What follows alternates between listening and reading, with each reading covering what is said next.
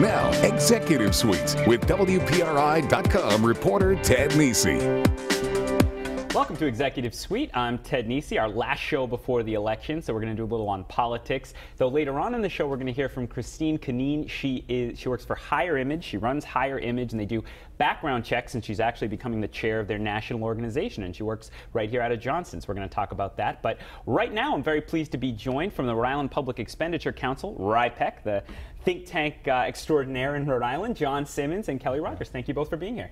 Pleasure. So we're going to talk about the ballot questions. This is when you go to vote next week. You'll have seven questions in Rhode Island on the statewide ballot, and nobody knows them better than these folks who crunch the numbers, so the rest of us can just write them up and make charts and all that good stuff. So we're going to walk you through those to get you ready for election day. So let's start right from the beginning. Um, so John, we, the first two questions, there are seven, are about Newport Grand, and we've actually done shows. Uh, regular viewers will know earlier in the year with the opponents and proponents and uh, proponents of that. Um, this isn't about borrowing money like the other ones. This is different. So, what are these two questions to do, and why do we have to vote on Newport Grand? Yeah, the Constitution requires that you uh, have a, a, vote of the local municipality to approve uh, gaming location and change of the nature of gaming. So it goes from just the videos to uh, table games as well. So this authorizes it. Author, authorizes, in a sense, the terms and conditions that were put into the statute. Detailing how the gaming is to be done on. So we have to change the Rhode Island Constitution yes. slightly to, to allow for, Joe Paolino and his yes. investors to right. build what yeah. they want. Yes, they have to have a vote of the of the electorate of both the state.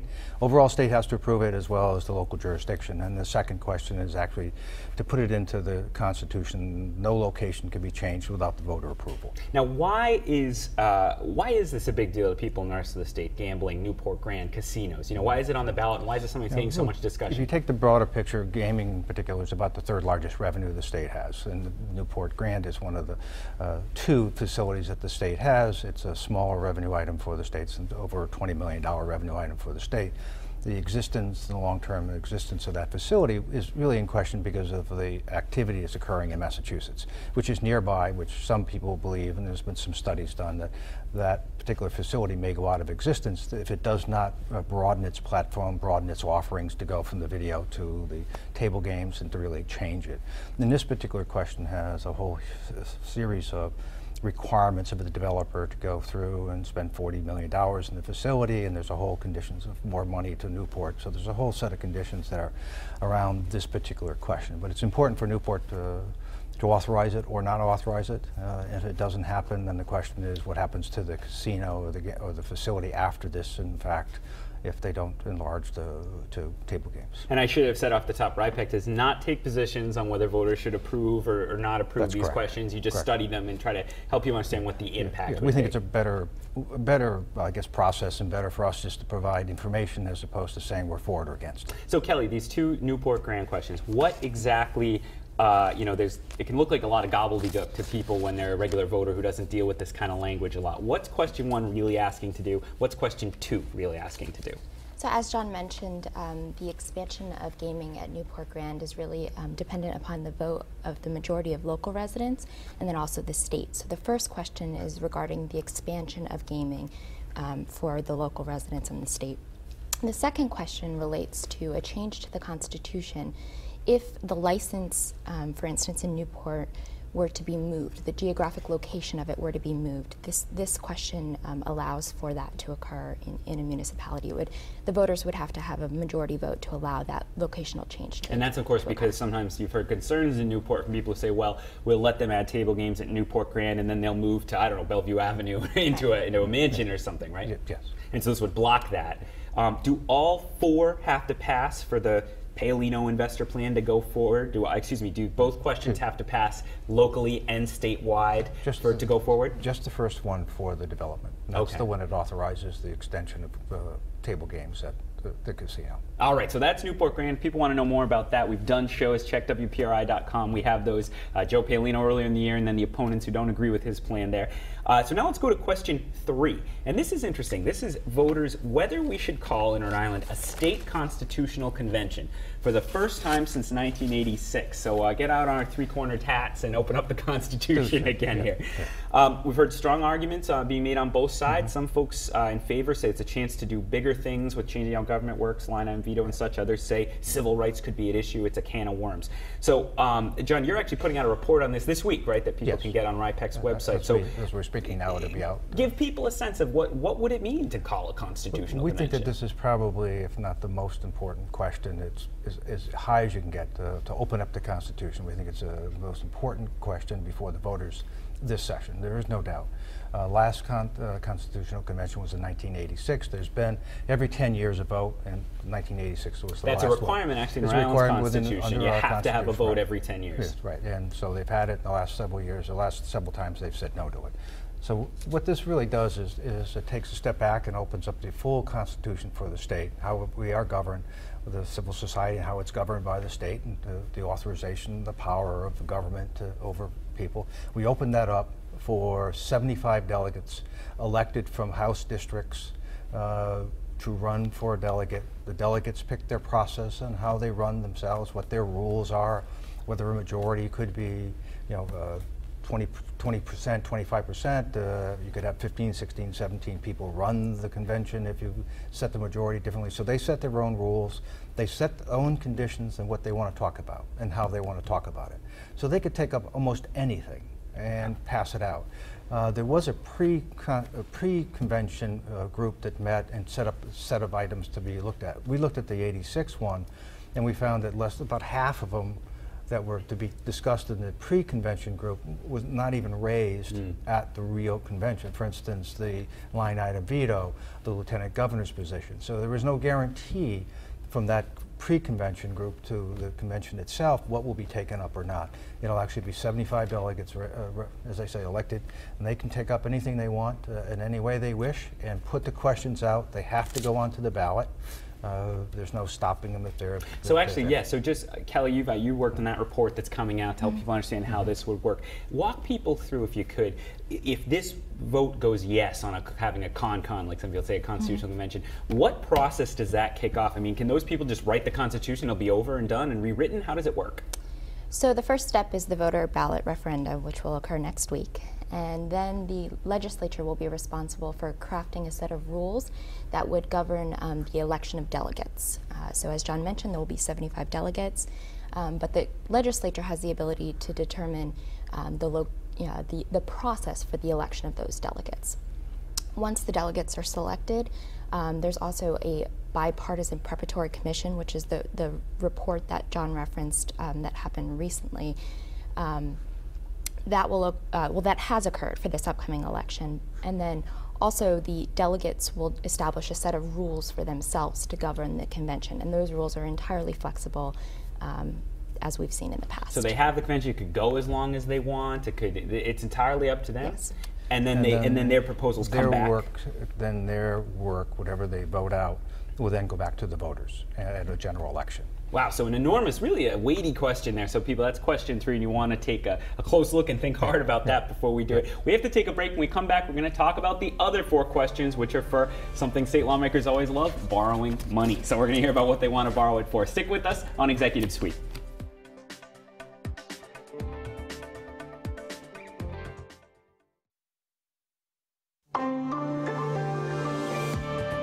Executive Suite. I'm Ted Nesi, and this week, a pre-election episode, we're getting you ready for the ballot questions on the statewide ballot in Rhode Island. You don't see as many campaign commercials for those, but we're trying to help you understand what uh, what you're going to be voting on next week when you head into the booth once you get past the candidates. So I have with me from RIPEC, John Simmons and Kelly Rogers, and they're walking us through. So we talked about the first three questions in the first half. Now, first uh, segment. Now we're going to talk about the borrowing money questions. And Kelly, I'll uh, start with you. What is question four? Question four would um, authorize an expansion of URI's um, engineering school. So it would be a large facility. Um, the principal is $125 million, and then interest ranges depending on the interest rate. But it would really be a, a true physical expansion of their campus and engineering school. Okay, so that's that one. And uh, actually, before we go on to the other ones, uh, Kelly, I'll stick with you. You you looked uh, for your report on this at the state's debt levels. Um, is can you generally characterize how does it compare regionally and nationally? How much debt Rhode Island's government currently has before if these get approved? Sure. Well, Moody's does an analysis of state debt medians, and they compare debt as a percentage of personal uh, personal income and also as a uh, on a per capita basis. And so, on a per capita basis, Rhode Island ranks 10th in the United States. On a personal percent of personal income basis, Rhode Island ranks 13th. So relatively high, but you actually see Massachusetts is like usually way out there at number one, right? Right. So in our region, actually Connecticut, one, yeah. excuse me. So uh, so it's come down from the 1990s, I think, in Rhode Island, the debt levels, but still relatively high compared to the rest of the country. All right. So that's the context before we decide whether to borrow more money. So John, that was question four, URI engineering. What is question five? The other one on, on five is the creative and cultural economy bonds, and there's a, about 10 different buckets of funding. and Nine of them are uh, for specific institutions, whether it's the Trinity Rep Rhode Island Philharmonic, there's uh, eight, nine of them with a specific amount. There's a dollar, one dollar match uh, required of each of the institutions. And it's laid out right on the ballot. It's right in, laid out in the ballot, so you know who's uh, getting the, the, the funding for it. Uh, and then again, it's about two and a half million dollar debt service payment, and it's about thirty-five million dollar total for that particular bond. And then uh, it's not all earmarked money in that one, right? Though then No. they also want to create a program. There's about six to seven million dollars for a program through the Arts Council that they would be able to award similar type of projects in Rhode Island. Or Gotcha. So they'd have more money for that left over from it. All right. So that's question five. Right. Back to you, Kelly. Then we'll go with what is question six. Question six relates to our mass infrastructure um, capacity. And so it would allocate $35 million to um, various infrastructure transportation um, projects, a major portion of which is in Providence with Kennedy Plaza. We see all the work being done there and everything. Now, why does it seems like that work's already going on? Why would we need to borrow money now? Do we know what exactly they want to do with the new money they'd get out of this at, at Kennedy Plaza and around there? A lot of it has to do with the relocation and, and better inter- interconnectivity of the available transit um, options. So they want to move it to different places. Okay. And uh, John, on Kennedy Plaza, you, you laid out uh, a, a bunch some questions people should think about. What sort of questions did you suggest people should think about Well, as they this one decide? is the, the size of the borrowing. It's uh, $35 million. Is that the right size? Should they be paid in different ways? Uh, For instance, should you be borrowing this money? Uh, should the state be borrowing the money for this particular project s- specifically to do some work that the city of Providence has some obligation for, the parking garage, for instance? And separating out the hubs and things of that nature, is that really what we should be spending money on first? What's the impact? If you look at the, one of the context questions is the overall debt service. Right now, we're about six and a half percent of the operating revenue. When we, we do all of these bonds, it'll go to eight percent of the operating budget. So it becomes a fairly expensive uh, item. It crowds out many of the items. So you have to look at the nature of the project. Should they be funded separately?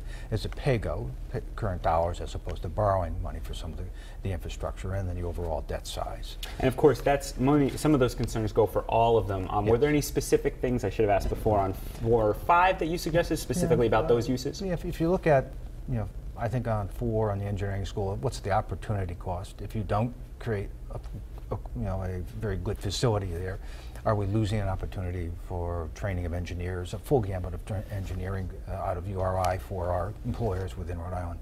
The next on the, the cultural bonds, there is a specific, should the state be supporting a public funds for private purposes? Each one of the nine institutions are privately held, they're not for profits, but should the state be spending that amount of money and the size of them, about two, three million dollars apiece, is that something you want to borrow 20 years for? And so we have some questions about whether that's an appropriate use of uh, borrowing capacity. Again, as you talked earlier, it, we do raise ourselves up on the uh, debt Right, limitations, by and we are high in the country, and also the debt service payments for those. So finally, only about a minute left, Kelly. What's question seven? Question seven relates to um, enhancements for clean water, open space, and healthy communities. So there are several different proposals in that category, some of which relate to um, clean water infrastructure abatement projects, some support um, our local farms. Um, there's a range of um, uh, details for these various proposals. The Clean Water Financing Agency has 20 million in uh, that broader question. And John, that's the last one there. What's any questions specifics to question Part of that seven? is uh, some $15 million goes to Roger Williams Park, uh, the zoo. Is that something that the state should be supporting, a city-owned or city-run asset? The dollar size the same. Uh, You have the park, you have a whole host of others. The water, clean water is to actually to assist municipals in lowering their debt costs. Is that something the state should be doing? As opposed to the municipalities paying for it directly for themselves, because it doesn't affect all 39 communities, it only affects those who are coming through the clean water process. And I'm sure everyone will study hard before they vote on each of these questions, but you can't say that RIPEC didn't give you the information you needed. So I want to thank you both before we go to break for coming and doing this. If you need more information, WPRI.com has a whole rundown of the ballot questions, and on RIPEC's website you can get their reports on all these questions as well. But don't go away, because coming up next we have Christine Cunneen talking about background checks becoming an increasingly important part of how employers figure out who they're going to hire. Stick with us on Executive Suite.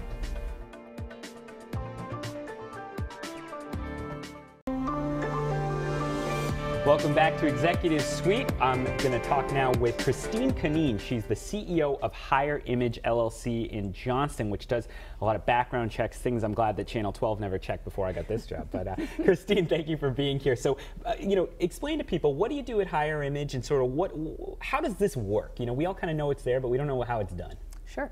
So, um, background screening companies work with employers across the country searching criminal courthouses. So, actually, have court researchers that go into the courthouses to search the records. And we have clients from Alaska to Puerto Rico and everywhere in between. So, it's not just local, it's not just nonprofits, it's not just for profit, it's any company, any size. You might have a doctor's office that hires one person a year, you could have a call center that's hiring thousands of people a year but it's important for every organization to get those searches done. And, and you are not just any background screener, you are now the chair, congrats, of the National Association of Professional Background Screeners. Just took over last week, I think, right? Yes, uh, last week was our annual conference in Denver, and I took over as the uh, chair, so that's exciting.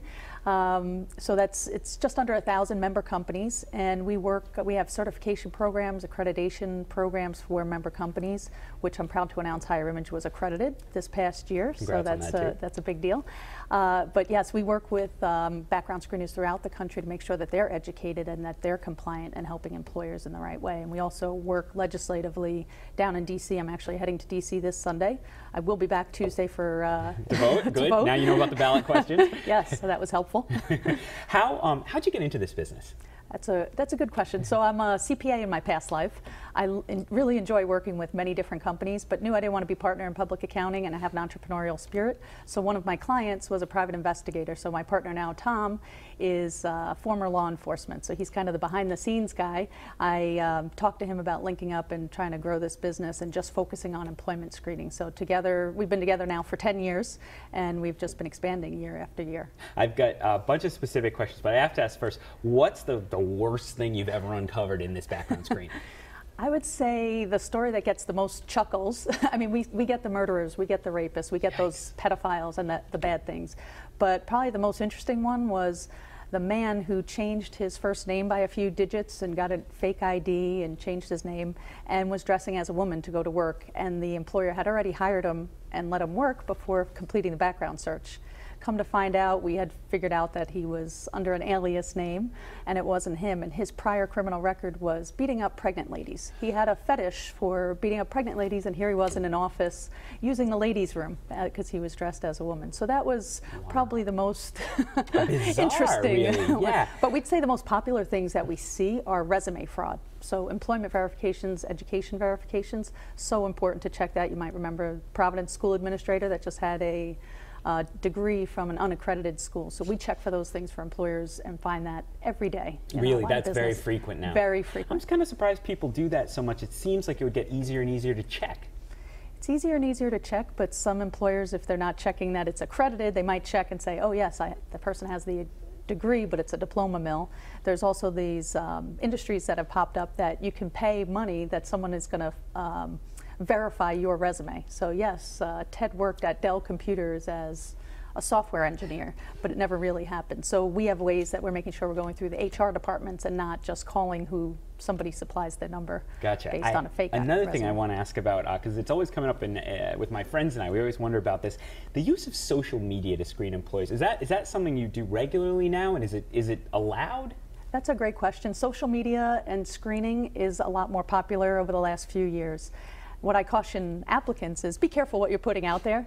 What I caution employers, and more and more employers are doing it internally themselves, but background screeners also offer that service. And the difference between doing it themselves or outsourcing it to a professional background screener is the employer Once you're looking on the social media, you're going to find out someone's sexual orientation, their age, their religious affiliation. You can't kind of unring that bell on uh-huh. some discriminatory practices. If you outsource it to a professional background screener, you can just say, hey, I want to know is there drug use? Is there disparaging comments about an employer? Um, any talk of violence. So you can kind of limit what you're looking for. But social media is a tough thing. We've seen had cases where a boyfriend has gotten the password of a girlfriend's Facebook account and written certain things. And so it's kind of hard to check, did that person really put that out there? But I mean, pictures do uh, paint the picture a lot. We also now have a ban the box law in Rhode Island, right? What does that do and what do employers need to know about it? Yeah, so Ban the Box was, um, it, it, was brought upon by ex offenders, advocates for ex offenders, to basically take the question off an initial job application have you been convicted of a crime? So the advocates say that's not giving those ex offenders a chance to re enter society. So I think we can all agree that's a a laudable goal. I think what happens is we're kind of pushing it onto the employers now. So Rhode Island and many other states have passed laws to say, hey, take it off the initial application, but you can ask about it later on in the process. Luckily for Rhode Island employers, it's just about taking it off the initial application. Many other states, they're causing other um, things that employers have to find. Is it job related? Is, you know, how, how, how can this be used? So multi-state employers are really challenged because it's not just states anymore, it's cities. We have mm. Newark and San Francisco and Seattle coming up with kind of crazy laws. I call it ban the box on steroids. Wow. But we're lucky here in Rhode Island and Massachusetts, it's just a straight ban the box. Don't ask it on the initial application. So um, you also have tips for employers to avoid getting in trouble because they're not maybe inadvertently fo following the federal guidelines for hiring practices and everything on discrimination. What sort of tips do you give on that? Right, that's a, that's a great point. We're seeing more and more lawsuits where employers, they might be using computerized systems and not taking into consideration when you're when you're providing background screening, it's regulated by the Fair Credit Reporting Act. And under that act, there's certain compliance uh, items you have to follow. You have to have a signed authorization and disclosure form and give that applicant a summary of their rights. And on those forms, you can't have it attached to the initial application. It has to be a separate, clear, and conspicuous uh, separate piece of paper for them to sign. So that's the number one thing. There's a lot of in-house attorneys that might add like a release of liability onto there. That we've seen a lot of class action lawsuits of major employers that have kind of gotten caught up in that. So you want to talk to your employment attorney, your background screening professionals to make sure that your forms are in compliance. And then when you're not going to hire somebody, to make sure you're giving them notice. Give them a copy of their report so they can see it.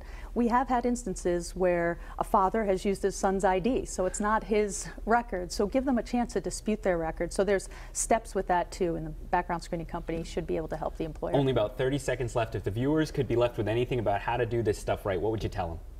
I would say definitely talk to your employment attorney, um, your background screening professional. Have a background screening policy, but don't be afraid to do background checks. I think they're so important. I don't care if you're hiring one person, hundreds of people. It's so important to do background checks because you want to know who you're hiring and who you're sending into your customers' homes. All right, Christine Cunneen, she's the new chair of the National Association of Professional Background Screeners, and she's CEO of Hire Image in uh, headquartered in Johnston. Thank you so much for coming in today, and thank you to John Simmons and Kelly Rogers for being there in the first half. If you missed any of this episode episode or any other episode of Executive Suite, you can catch all those on WPRI.com. Don't forget to vote November 4th, and we'll have all the coverage you need on WPRI 12. See you next week on Executive Suite.